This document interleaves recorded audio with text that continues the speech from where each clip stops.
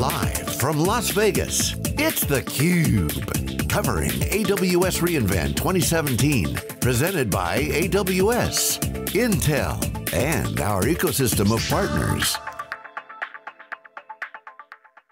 Hey, welcome back everyone. This is theCUBE's exclusive live coverage here in Las Vegas for AWS Amazon Web Services reInvent 2017. I'm John Furrier with Keith Townsend. Our next guest is Laura Stevens, data scientist at the American Heart Association, an AWS customer. Welcome to theCUBE. Hi, so it's nice the, to be here. The new architecture, we're seeing all this great stuff, but one of the things that they mention is data is the killer app that's my words, Werner didn't say that, but he's essentially saying that. um, you guys are doing some good with, work with AWS on precision medicine. What's the story? How does this all work? What are you do, working with them on? Yeah, so uh, the American Heart Association was founded in 1924, and it is the oldest and largest uh, voluntary organization dedicated to curing heart disease and stroke. And I think in the past few years, what the American Heart Association has realized is that the potential of technology and data can really help us create innovative ways and really launch precision medicine in a fashion that hasn't been capable to do before. What are you guys doing with AWS? What's the, what's the solution? Yeah, so the AHA has strategically partnered with Amazon Web Services to basically use technology as a way to power precision medicine. And so when I say precision medicine, I mean identifying individual treatments based on one's genetics, their, their environmental factors, their life factors, that then results in preventative and treatment that's catered to you as an individual rather than kind of a one size fits all approach that is currently happening. So more tailored, yeah, specifically tailored to you as an individual. What I do I do, get a genome sequence, I walk in, they throw a high performance computing, sequence my genomes, maybe edit some genes while they're at it. I mean, what's going on? There's some cutting edge conversations out there we see in some of the academic areas. CRISPR's I was made, just throwing that in for fun, but data has to be there. What kind of data do you guys look at? Is it personal data? Is it, like how big is the data? Give us a sense of some of the data science work that you're doing. Yeah, so the American Heart Association has launched um, the Institute for Precision Cardiovascular Medicine, and as a result, with Amazon, they've created the Precision Medicine Platform, which is a data marketplace that houses and provides analytic tools that enable high performance computing and data sharing for all sorts of different types of data, whether it be personal data, clinical trial data, pharmaceutical data, um, other data that's collected in different industries, hospital data, so variety of data. So Laura, the, there's a lot of, I think, FUD out there around the ability to store data in the cloud, but there's also some valid concerns. A lot of individual researchers, I would imagine, don't have the skill set to properly protect data. What is the Heart Association doing with the framework to help your customers protect data? Yeah, so the, the I guess, security of data, uh, the security of the individual and the privacy of the individual is at the heart of the AHA and it's their number one concern in making anything that they provide that a number one priority.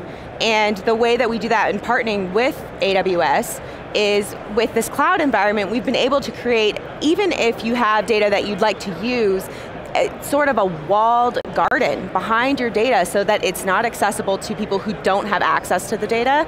And it's also HIPAA compliant, it meets the standards that are the utmost secure standards of healthcare today. So I want to make sure we're clear on this. The Heart Association doesn't collect data themselves. Are you guys creating a platform for your uh, uh members to leverage this technology? So there's I, I, would say maybe both actually. The American Heart Association does have data that it is associated with, with its, uh, volunteers and the hospitals that it's associated with, and then on top of that, we've actually uh, just launched My Research Legacy, which allows individuals of the community to want, who want to share their data, whether you're healthy or uh, just, or sick, either one, they want to share their data and help in aiding to cure heart disease and stroke. And so they can share their own data, and then on top of that, any uh, anybody. We are committed to strategically partnering with anybody who's involved and wants to share their data and make so their I data accessible. share my data? Yes, you can share your data. Wow, so what type of tools do you guys use against that data set and what are some of the outcomes? Yeah, so I think the foundation is the cloud, and that's where the data is stored and housed. And then from there, we have a variety of different tools that enable researchers to kind of custom build data sets that they want to answer the specific research questions they have. And so some of those tools, they range from common tools that are already in use today on your personal computer, such as Python or R, Bioconductor, and then they have more high performance computing tools, such as Hail or uh, any kind of S3 environment or Amazon services. Um, and then on top of that, I think what is so awesome about the platform is that it's very dynamic. So a tool that's needed to use for high performance computing or a tool that's needed even just as a, on a smaller data set that can easily be installed and made available to researchers and so that they can use it for their research. So kind of data as a service. I would love to know about the community itself. How are you guys sharing the results of kind of, oh, this process worked good, great for this type of analysis uh, amongst your members? Yeah, so I think that there's kind of two different targets in that sense that um, you can think of is that there's the researchers and the researchers that come to the platform and then there's actually the patient itself. And ultimately the AHA's goal is to make data, uh, to use the data and use the research for patient patient-centered care.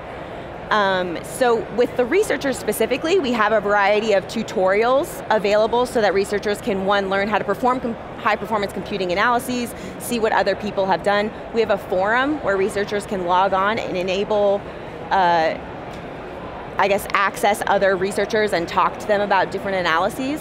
And then additionally, we have My Research Legacy, which is patient-centered, so it's this is what's been found, and this is what we can give back to you as the patient about your specific individualized, treat, individualized treatment.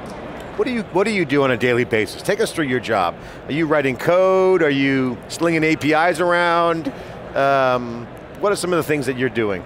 I think I might say all of the above. Um, I think right now my main effort is focused on one, conducting research using the platform. So I do use the platform to answer my own research questions, which, and those we have prevented, um, presented at different conferences. For example, the American Heart Association, uh, we had a talk here about the precision medicine platform.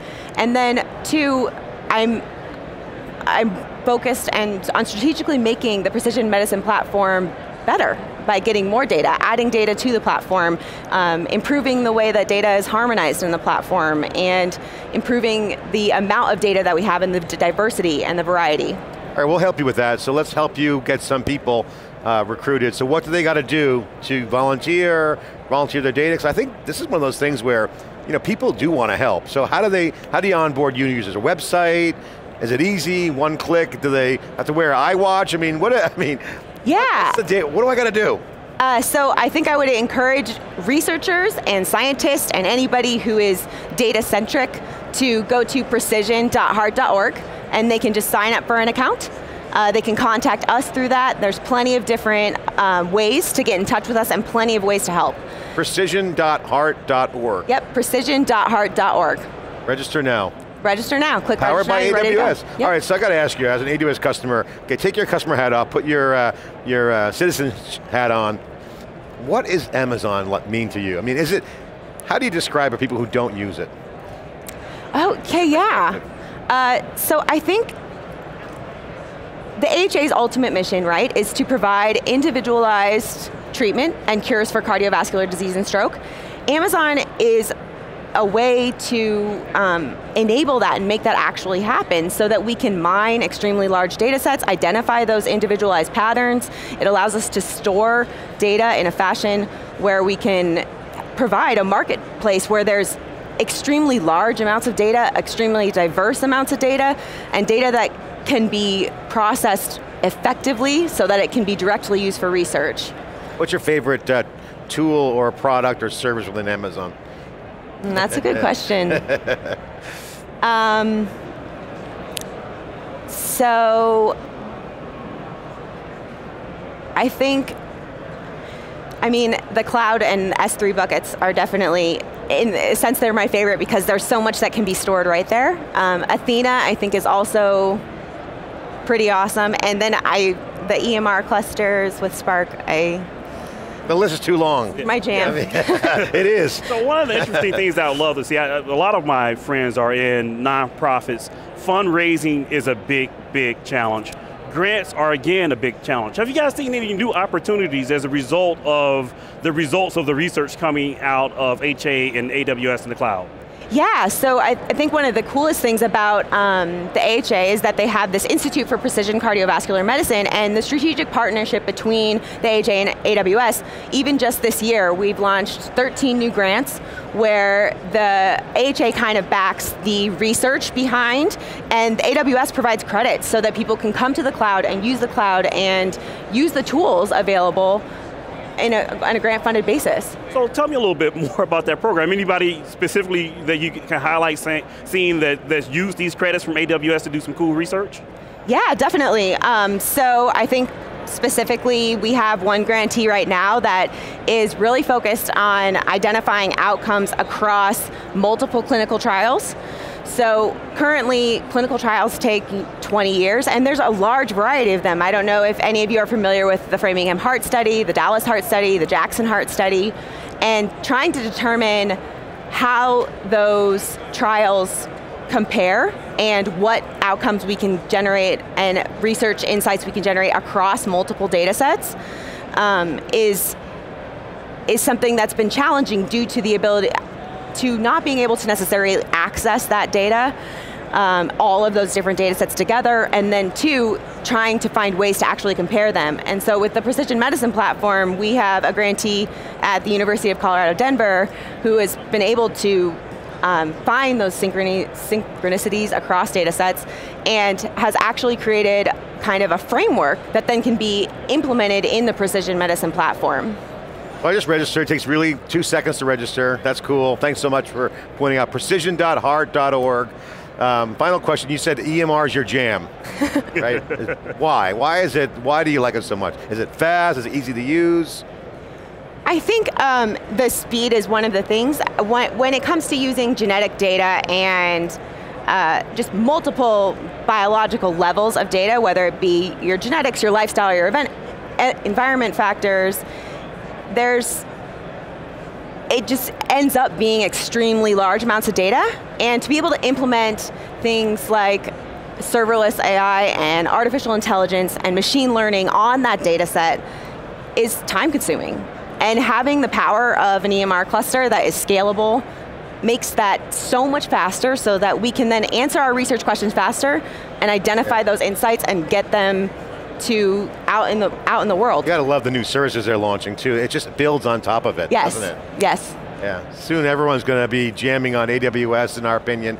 Thanks so much for coming on, appreciate the, the stories yeah. and commentary. Precision.heart.org, if you want to volunteer for your researcher or user, want to share your data, they got a lot of data science mojo going on over there, so check it out. It's theCUBE, bringing you a lot of data here, tons of data from the show, three days of wall-to-wall -wall coverage. We'll be back with more live coverage after this short break.